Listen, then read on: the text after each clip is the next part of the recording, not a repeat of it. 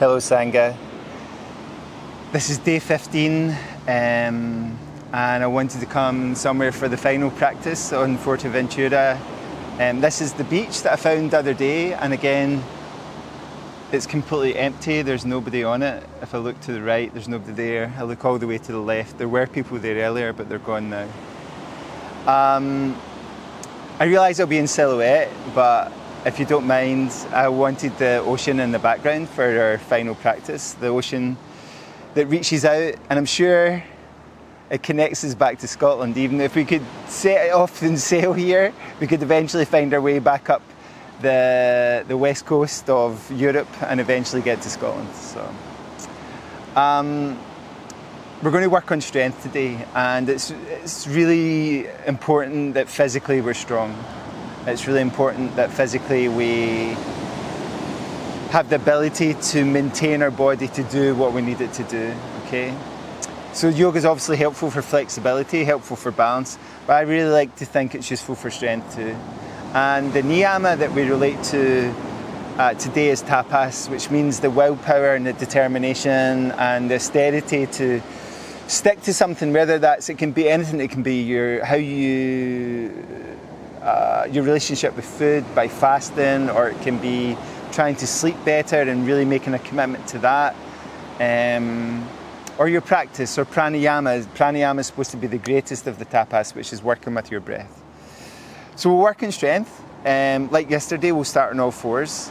Um, I'm hoping there's a helicopter won't uh, come right overhead again, but yeah, I realise I'm in silhouette, but that's okay. So bring your hands forward and your knees back, and shift your weight to the back of your mat.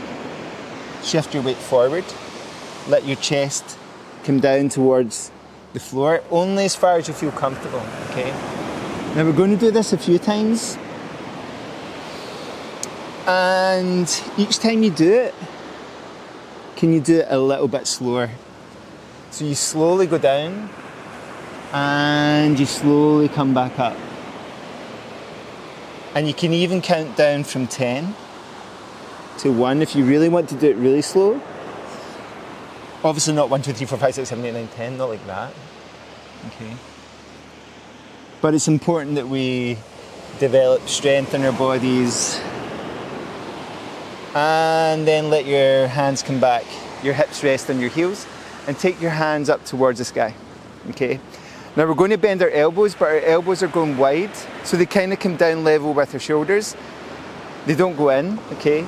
And then they're going up. When we were doing that a moment ago, our elbows were coming by our sides and coming out, okay? So this is the movement we want now. And we're going to do it from our knees and then we'll try it from down dog. So bring your hands forward. Bring your knees to a position where they feel supportive. Let your elbows go wide and push back up. And try that a few more times. Okay.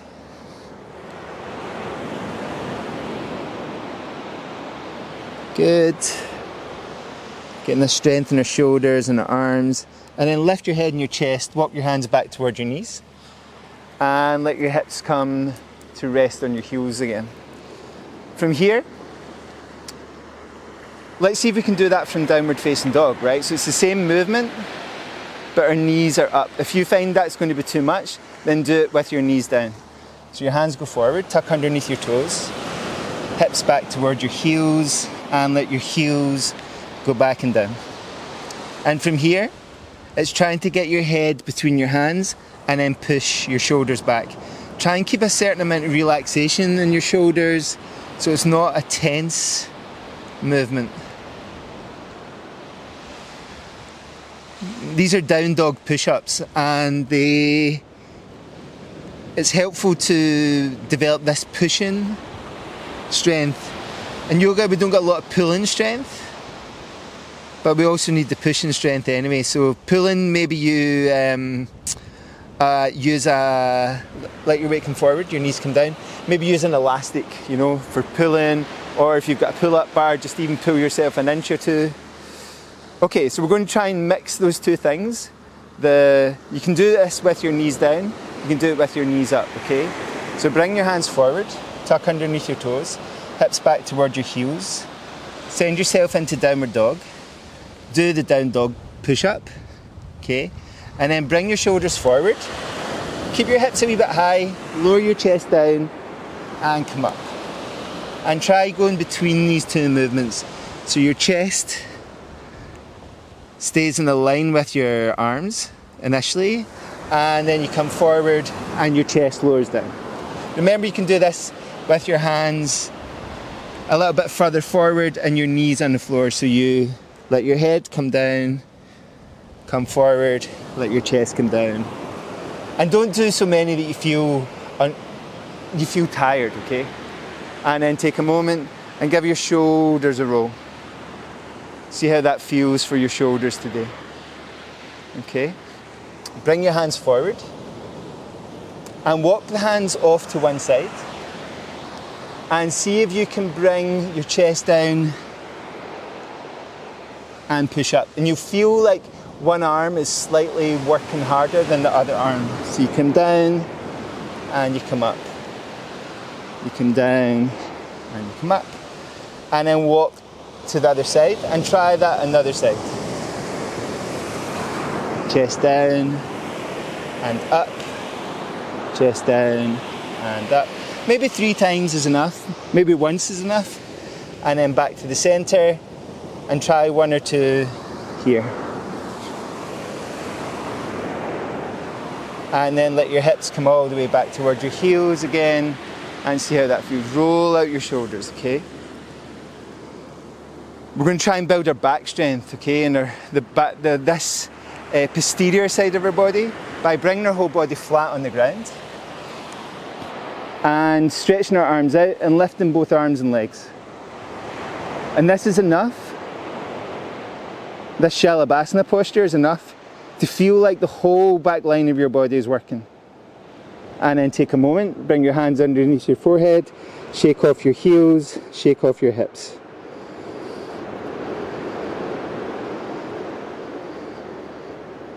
Try that again. Both arms reach out, toes reach out, everything comes slightly higher.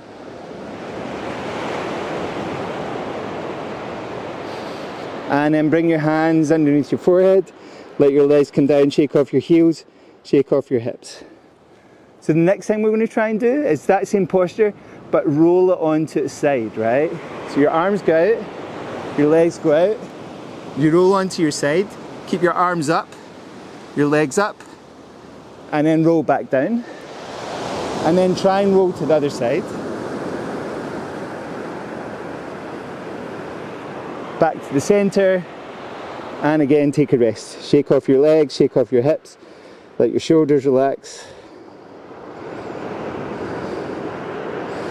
Bring your head up, bring your hands back by your ribs, push the floor away, take your knees wide, touch your big toes together, sink your hips back towards your heels, your elbows towards the floor, and then your forehead towards the floor, taking slow breaths in and out here.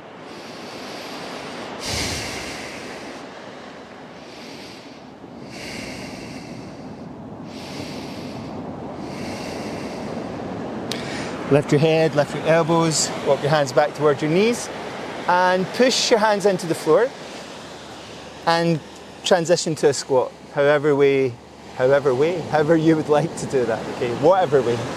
And take your squat for a little movement from side to side. So placing your hands and come to one side, placing your hands, coming to the other side, placing your hands, okay? And you can start to make it a little bit more of a cartwheel, a little slower, or you can just do a, a small jump, whatever you feel is helpful for you today.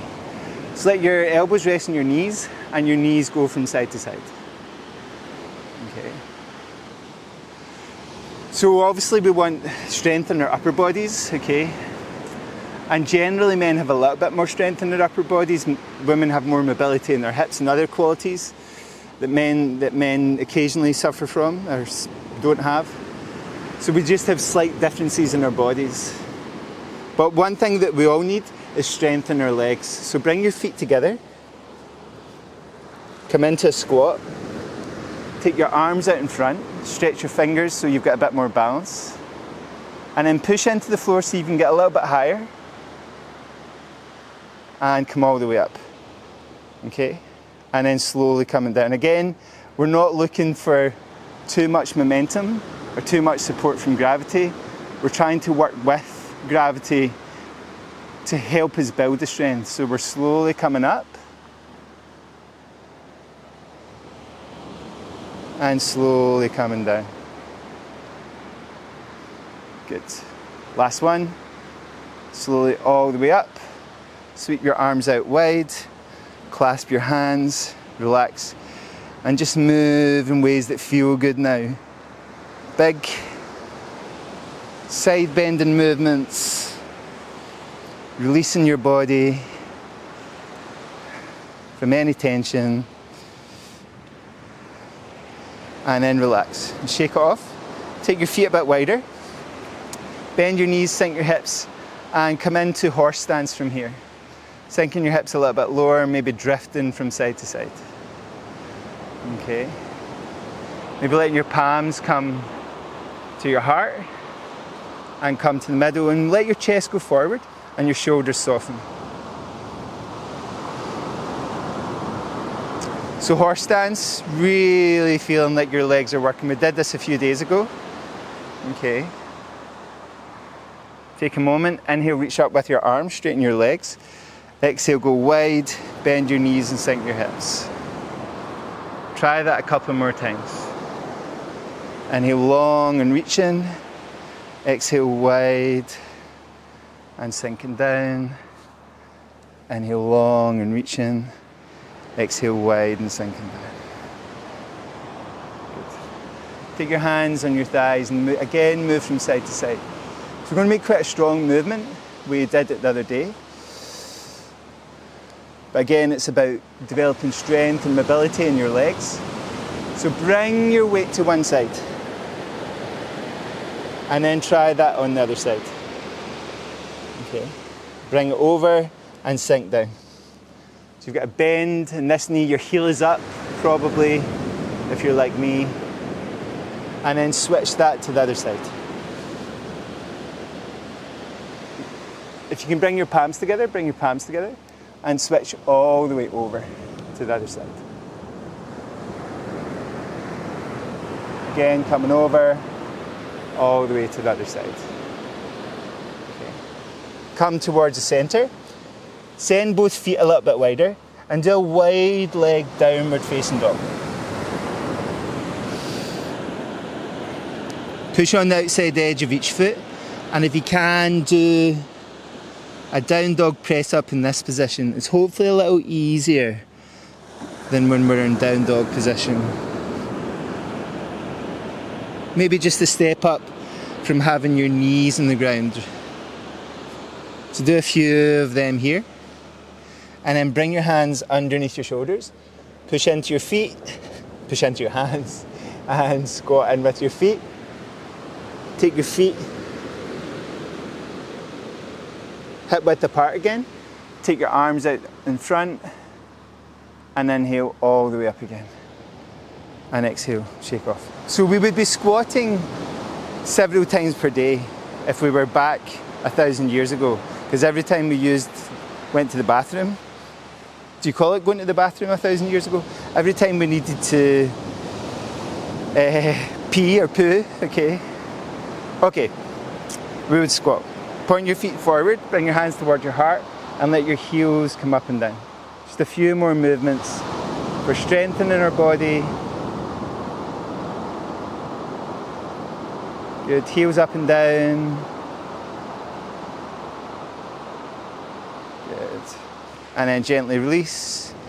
And see if you can sit down without using your hands or usual practice. Try it maybe some, try it not your habitual way. See if you can try it the other way around, okay? And then bring your feet out towards the front of your space. Take your hands out level with the ground and slowly come down to lie on your back. And then hug your knees towards your chest. And this is something we did in the first or second day. Let your legs come up towards the sky, spread out both arms, and let your toes come out towards your fingers. Do this with your knees as bent as you need to, okay? Bring your toes out towards your fingers. Back towards the centre. One more time, either side.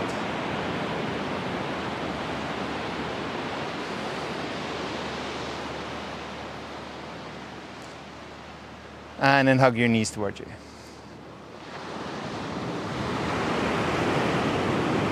Roll out to one side, push into the floor, and come to seated position that makes sense for you.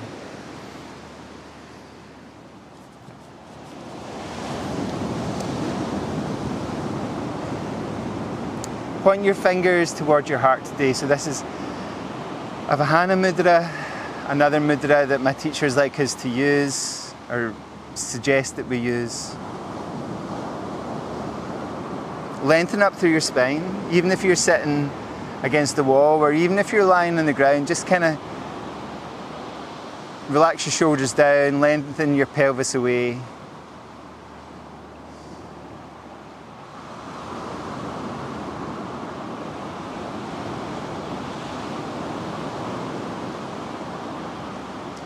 And take slow, smooth breaths in, slow, smooth breaths out.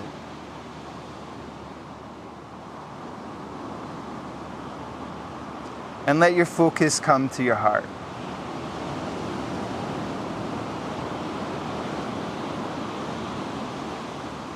Feel like every time you inhale, your heart expands. Every time you exhale, your heart softens and gathers back to the center.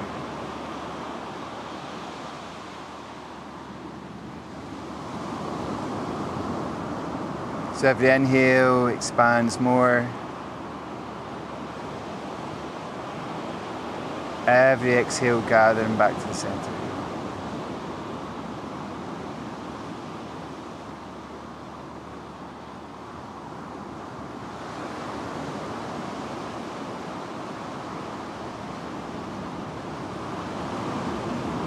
And when you find your mind wander, bring it back to your heart and your breath and expansion of your heart.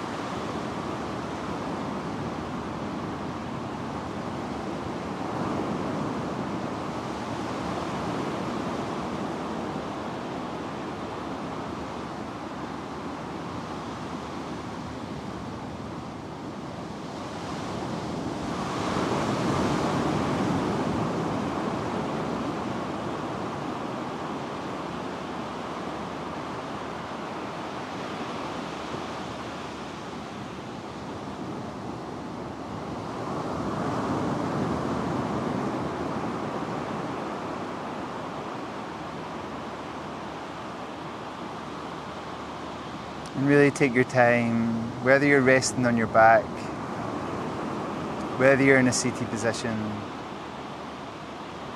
to connect to your heart and the stillness that lies within you.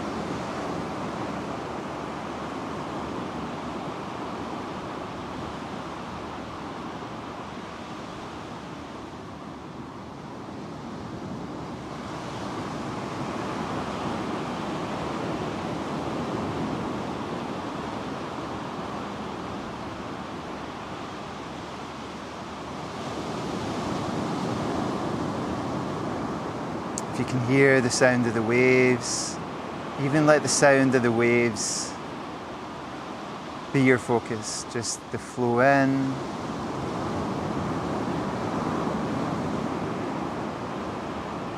And the flow out.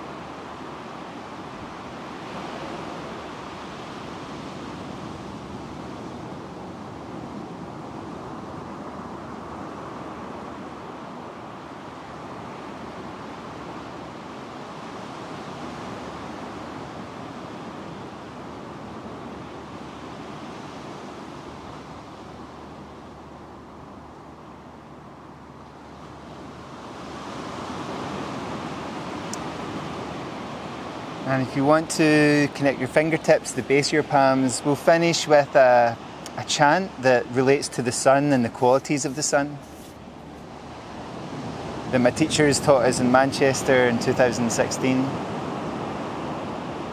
Yo deva savitas makam deo dharma digo charaha prerayet yat vargaha tadvarenyam upasmahe